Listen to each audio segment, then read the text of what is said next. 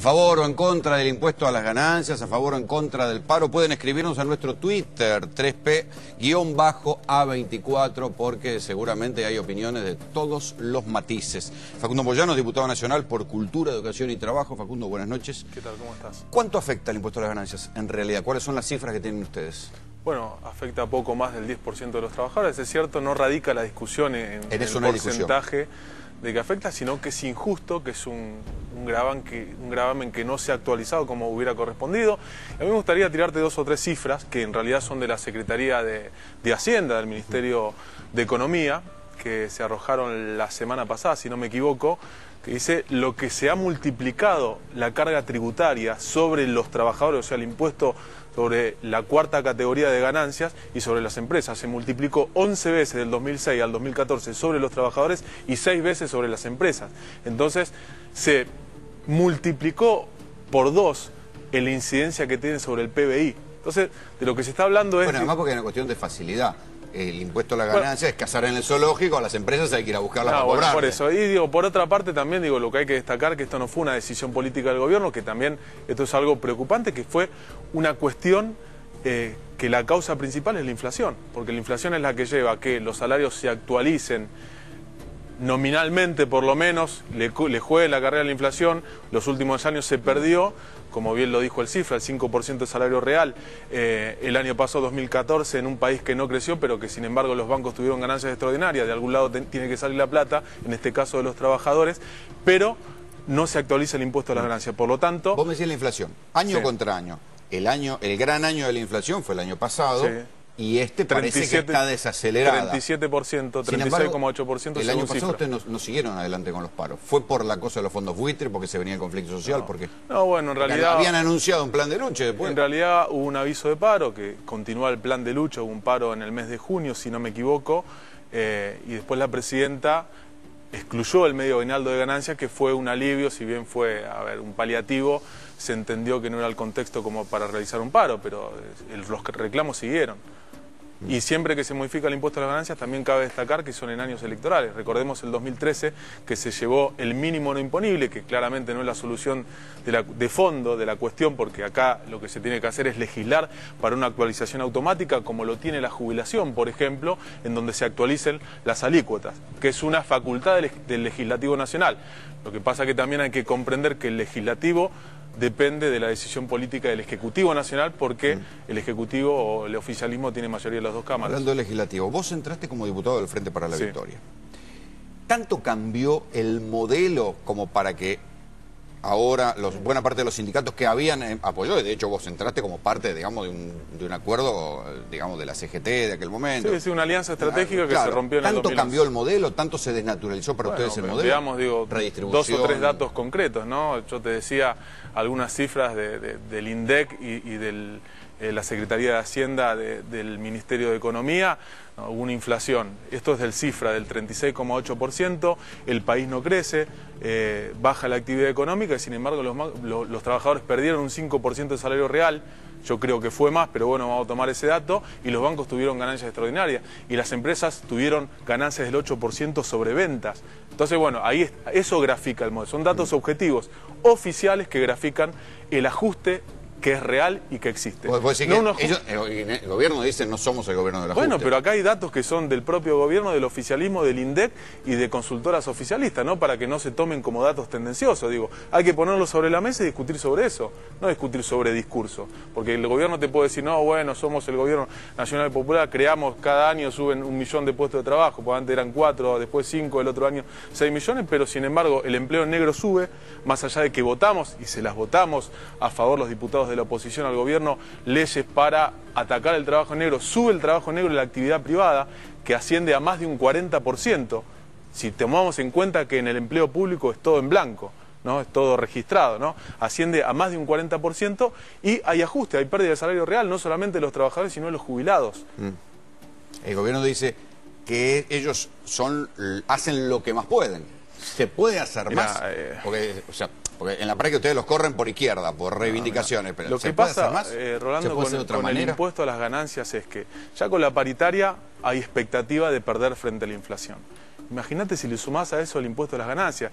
Y acá la contradicción que quieren hacer o que se pone de manifiesto con las cifras que arroja el INDEC de 5.500 pesos, la mitad de los trabajadores, es que el reclamo por ganancias contradice a los trabajadores. Nosotros somos los culpables de que existan trabajadores de 5.500 pesos.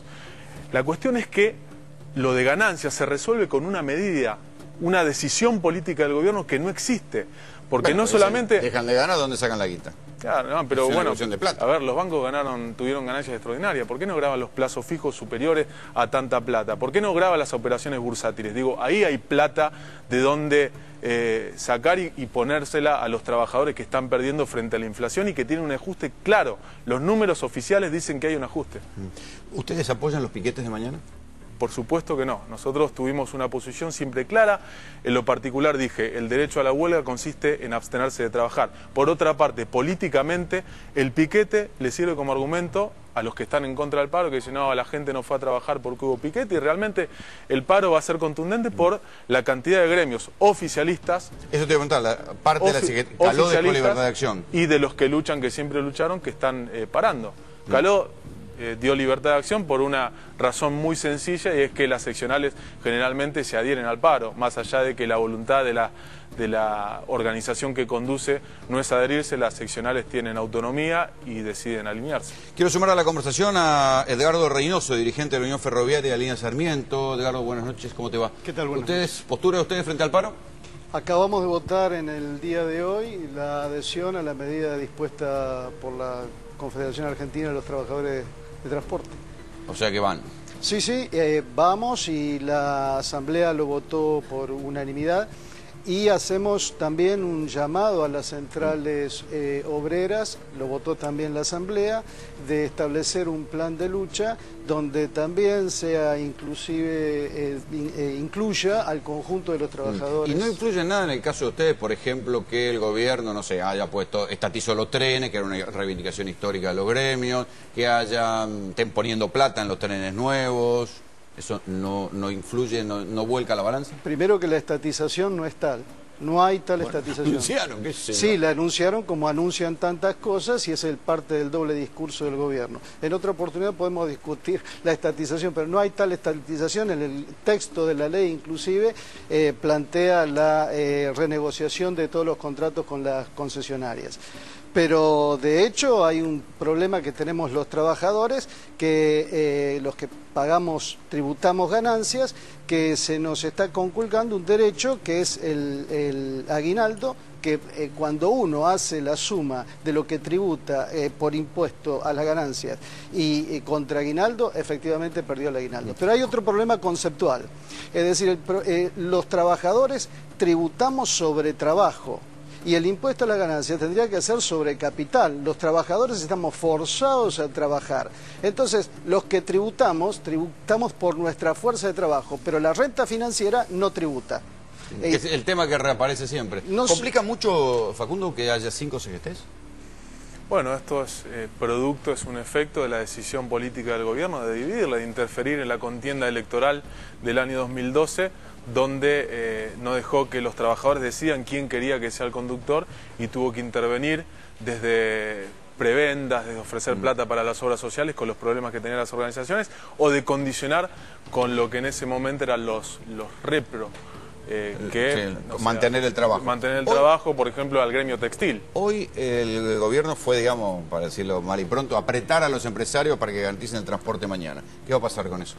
No, bueno, si hay bueno que, le están poniendo mucha plata en subsidio, que pongan los, eh, yo me imagino, Yo me imagino que acá se tiene que respetar la voluntad de los trabajadores y que el gobierno, como lo ha dicho la presidenta en alguna oportunidad, como lo ha dicho el jefe de gabinete, Aníbal Fernández, la huelga es un derecho legítimo y constitucional y ese derecho se tiene que respetar, más allá de los condicionamientos del gobierno, que siempre ha hecho lo posible para obstaculizar, eh, se tiene que respetar la mm. voluntad de los trabajadores. ¿Por qué termina habiendo siempre algún colectivo quemado, algún taxista con un medio rojo? Cada uno se tiene que hacer cargo de sus acciones. Cada uno se tiene que hacer cargo de sus acciones. Yo no respondo por las acciones que no me competen y no son voluntad mía. O sea, si vos me preguntás, ¿por qué corta la ruta? Y bueno, eh, serán los oportunistas que se suman a esto, que le dan argumento al gobierno eh, para deslegitimar una medida de mm. fuerza que es totalmente legítima y que es más legítima aún porque hay gremios oficialistas que se han planteado sumarse a este reclamo con total... En el caso de tu caso, que es el gremio de los trabajadores del peaje, no cortan ruta. Eh, la huelga es abstenerse de trabajar, mm. es no hacer uso, es hacer uso, mejor dicho, del derecho de no trabajar. Eso está amparado por la Constitución y a, ese, derecho nos ajustamos. Carlos Raimundi, diputado nacional del Frente Nuevo Encuentro. Carlos, buenas noches. ¿Qué tal? ¿Tu opinión sobre el paro de mañana? Bueno, es un paro que tiene una clara intencionalidad política, ¿no?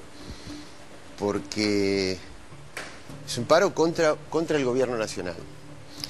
Ahora, la pregunta sería si realmente va a beneficiar a los, a los trabajadores. Eh, porque desde el punto de vista político, quien conoce... Bueno, los paros no benefician, son de protesta. No, pero no, digo que pueda cambiar algo el otro día, quiero decir. Eh, quien conoce cómo reacciona el, gobierno nacional, la presidenta, frente a este tipo de cosas, sabe que desde el punto de vista político no, va a favorecer.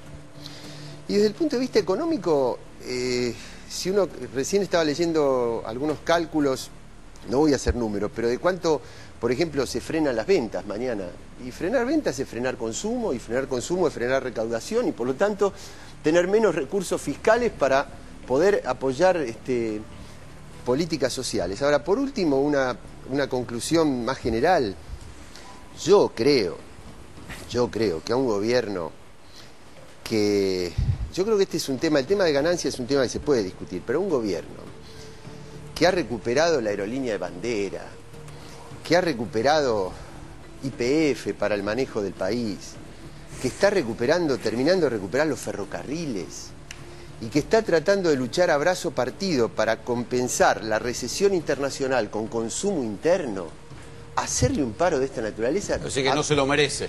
Pero a, mí, a, mí, me parece, a mí me parece una medida de un profundo... Al gobierno de la Alianza se le podía hacer un paro, del, del, un profundo resentimiento político. ¿Se lo merece? Al gobierno de la Alianza se le podía hacer un paro, digo, porque... Era un gobierno de ajuste. Porque el señor defendía la ley Banelco, por eso digo. Me parece que no... ¿Defendía la Banelco?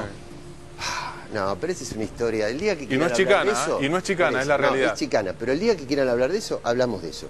Ahora estamos hablando del paro de Porque es verdad, porque no, no porque vos me estás trayendo un eh, gobierno que bajaba salarios, no un gobierno que tiene el 95% de las relaciones laborales con paritaria y que está tratando de recuperar el salario y la cantidad de afiliados que tienen los sindicatos. Pero, quiero 40% de, de, de, pero no, se puede discutir, digo, aparte ya hay números arriba de la mesa que muestran que el ajuste es real, digo, a ver, que el CIFRA, que es la consultora de la CTA arroje datos como que los trabajadores perdieron frente a un 36,8% de inflación el 5% del salario real, yo creo que fue más. Se ¿eh? lo voy a preguntar a Pedro Baciaico, que es secretario general de Junto de la CTA. ¿Es así la pérdida del salario para ustedes?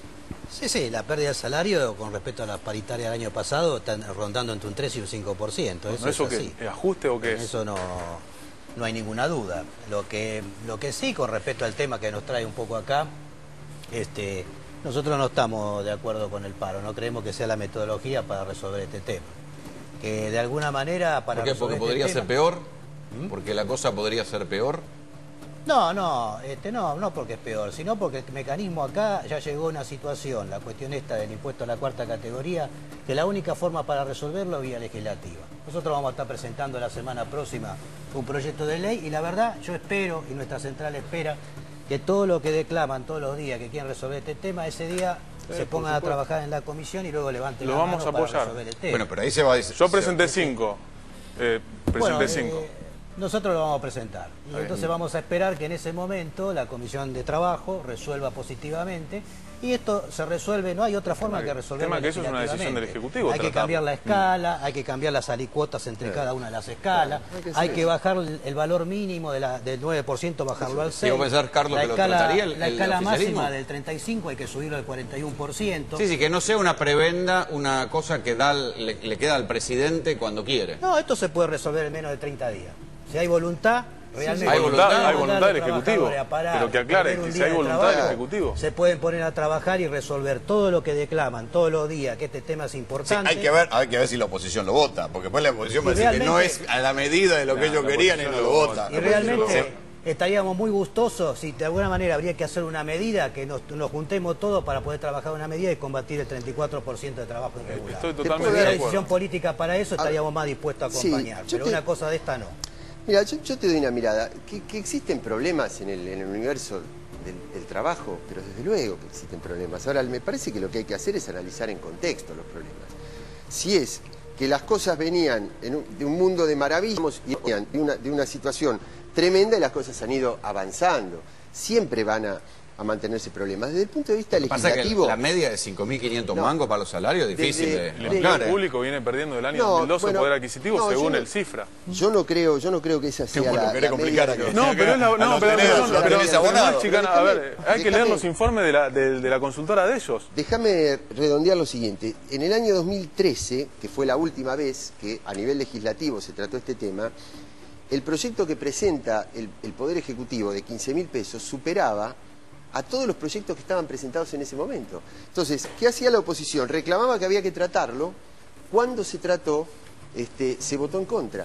Y yo creo que sí, eh, que, que, ah, este es un tema que hay que analizarlo, no para la franja de salarios de 30, 40, 50 PRO mil pesos, pero sí hay que modificar la alícuota de esa, de esa escala salarial que va desde 15 a, a- a un poquito más, sin ninguna duda. Matías Lo que Tombolini. sí no se puede hacer es bajo la amenaza de paro. Bajo la amenaza de paro no se puede negociar estas cosas. Matías Tombolini es economista, ahí tiene los papeles desplegados, está sacando cuentas, sufre. ¿Crisis de modelo o reclamo de una élite de trabajadores? No, a mí me parece que hay dos aspectos, que hay un aspecto de orden técnico y un aspecto de orden político. Efectivamente, cuando uno mira la parte política, pregunto a Raimundi, ¿qué diría Germán Abdala de oponerse a una medida de, este- de estas características? Yo creo que estaría acompañando el paro, Lo francamente. que, ¿no? lo que diría Aclaremos a la Tosco. gente de Germán un Germán prócer diría lo mismo que diría Tosco, o sea, que de alguna manera acompañaría la Yo- medida que bueno, fueran yo para los creo sectores que, más yo creo que más yo creo que no deslegitimaría una medida de fuerza de, de esta, de esta característica en el sentido fuerza, Mati, que- bueno pero me están preguntando a ver, mí o responde vos A, a defender el derecho del 10% de les presento a Matías Tombolini pero con pelo largo bueno Un millón ochocientos mil Llamamos a Fernanda, trabajadores. llamamos a Fernanda, la tenemos ahí sujeta. En Germán era un tipo en ese- nacional y popular. Claro, no, justamente. porque lo nombraste y la verdad que me da, perdóname. Bueno, que no comparto, pero me- yo me creo que tendré la posición. y defender la por memoria eso mismo. que ha sido un gran Bueno, luchador de la historia política y sindical argentina. Exactamente por eso, yo creo que, este, de vuelta, me parece que hay parte del reclamo que es justo, lo que no significa que los trabajadores ganen todo el mismo. Digo, para ponerlo en números, efectivamente, 5.500 es el, salario medio, hay que decir también que el salario familiar está en 9.000, que eso se omite decir. Por eso yo digo, ni de un lado ni estrictamente del otro. Sí me parece que la falta de actualización de las alícuotas deja, digamos, eh, sin fuerza la defensa por parte del gobierno, porque yo creo que 15.000 no está mal como número para empezar, pero sí está mal la alícuota. Y el te voy a poner un ejemplo que el, gobierno no habla. al- A que cobra 15.000 se le cobra mucho. Que le cobren 40 mangos no es, no es un problema, pero lo más contundente de todo es, hace una semana se anunció una moratoria fiscal. O sea, que si el tipo que le paga el sueldo a un trabajador durante un año no pagó los aportes patronales, tiene 10 años para pagar a tasa subsidiada. Ahora, al que le retienen impuesto a la ganancia, parece no hubo ninguna noticia. Me parece que ahí es donde se queda corto el gobierno con la respuesta política que tiene que dar. Fernanda. que no sé de qué números oficiales habla Facundo, pero No, el no, gobierno hablaba de los del INDEC y de los de la CTA. gracias no tiene porque no hay ninguna consultora en este país que tenga Pero me- me capacidad de lo que medir dije. lo que mide con capacidad Me técnica tergiversa el lo que dije. Instituto de Hablé de datos del INDEC y cuando dije consultora hablé de cifra. Bueno, sí. Que es Está bien, oficialista. pero no digas que son No dije este, oficial, datos dije oficiales porque confundís a la No gente dije, con algo bueno. que sabes que no es real. No dije eso, Los datos Fernanda. oficiales son los que brinda el Estado Nacional a través de sus institutos. Hablé del Los INDEC. 5.500 y no del los de INDEC. ninguna Hablé del INDEC del- y como hablé vos de la quieras cifra. calificar. Eh, segundo, digo que esto es un paro político, no caben dudas. Yo con lo que no estaría de acuerdo en el análisis político que se ha hecho es con que este es un paro del 10% de los trabajadores. A ver, ahí, yo voy a coincidir con Moyano. Eh, el derecho de huelga, por supuesto, es un derecho constitucional. Nadie va a cuestionar eso, ni nadie va a cuestionar el derecho de ese 10% privilegiado, por cierto, que está en la cima de la pirámide salarial, por encima del resto del 90% de la gran mayoría de los trabajadores, que no tienen el privilegio de poder acceder a un salario tal que les permita pagar ganancias. Acá hay trabajadores no privilegiados. privilegio. o la eh, renta financiera no, es la yo privilegiada. No creo, discúlpame, No, no, los bancos creo son que sea un privilegiados. paro de ¿Los bancos no son los 10%, privilegiados? Es un paro político, No, es un paro de una cúpula sindical, de un- sector de Caló sindicalismo, del que Facundo, por supuesto, eh, forma parte, junto con Hugo eh, y otros actores que están posicionados en la oposición política al gobierno nacional y que lamentablemente eh, en realidad están defendiendo posiciones que van mucho más Bueno, allá de esta dicen- discusión por ganancias. Siempre se le dice que Están paro es defendiendo, político. efectivamente, como vos decías, las posiciones del ajuste, porque Facundo, recordemos, está acompañando a Sergio Massa, Sergio Massa que se propone eliminar las retenciones, que critica el impuesto a las ganancias porque es un impuesto progresivo, todas políticas en lo impositivo justamente de ajuste, porque ¿qué hacen? Liman la capacidad del Estado de desarrollar políticas públicas que son las más progresivas y las que llegan a qué los que no tienen nada, a los que no pueden pagar acá, en los ganancias. años. Entonces, digo, Edgardo. me parece que esto es lo que hay que sincerar, porque si no, digo, es todo mentiroso, es todo maniqueo, y la verdad es que acá lo que estamos discutiendo son dos proyectos de país, no el impuesto a las ganancias, no el derecho de un 10% que gana más de hacer paro o no, sino un sector del sindicalismo opositor que lamentablemente se ha colocado en la vereda opuesta a la defensa del interés de los trabajadores argentinos. No, yo digo lo que digo, cuando Moyano hacía paro en los 90 con el MTA, también habían críticas de este tipo, o sea, te pegan por izquierda, por derecha. No es Me cierto. parece que es natural. Estábamos ahí todos con Moyano, Perdón. bancando y peleando contra el neoliberalismo en los déjalo 90. No es cierto. Después, respecto a los datos objetivos y oficiales, yo me referí a los datos de la Secretaría de Hacienda y a los, y a los datos del INDEC. ¿Son oficiales?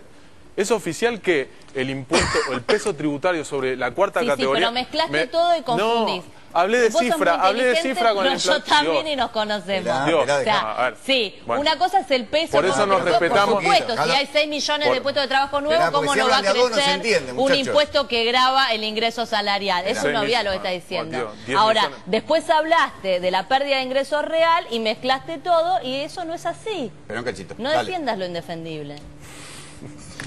Estoy hablando de los ¿Era, datos era oficiales. antiobrero o no era antiobrero? Nah, yo no creo que sea antiobrero. Lo que pasa es que es un gobierno que está llevando adelante un ajuste. Por acción u omisión. A ver, no es el 13% o no es el gobierno de la ley Banelco que defendía a Raimundi, pero es un gobierno que está llevando adelante políticas con mucha torpeza económicas que generan un clima de ajuste. A ver, el peso tributario sobre la cuarta categoría se multiplicó 11 veces del 2006 a la fecha. Datos de la Secretaría de Hacienda oficiales. ¿No? Los datos del INDEC de 5.500 pesos son datos oficiales.